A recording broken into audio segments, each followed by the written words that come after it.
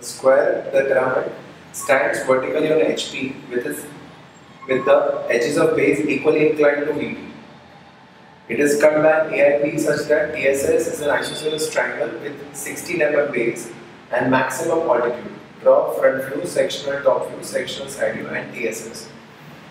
Now in this sum we have to draw isosceles triangle with base 16 mm. So in this sum first we need to draw square with all sides equally inclined to VP. After that since we need three points, so what we will do, we will draw cutting plane passing through the base as well as apex. So first we have to manage 16 mm. So I will draw a line, I will take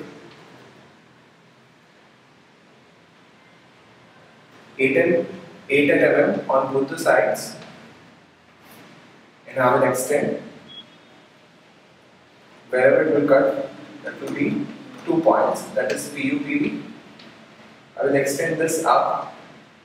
Wherever it will cut from there from the apex we'll draw cutting plane line. So this will be PU dash, PV dash and this is PO dash right? So that is point PO is over here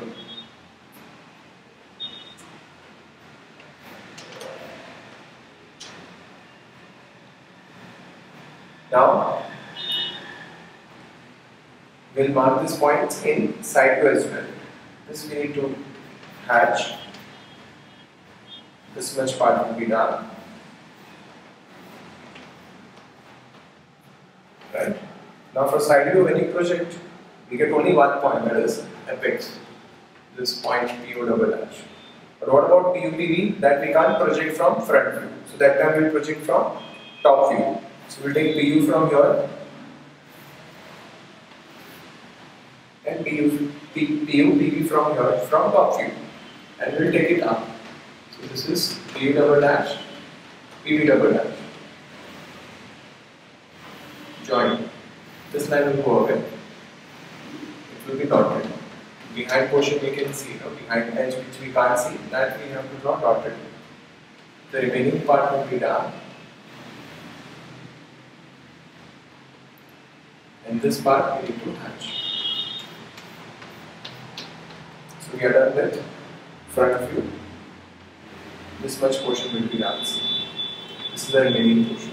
This is top view and this is side view. Sectional side view and sectional top view.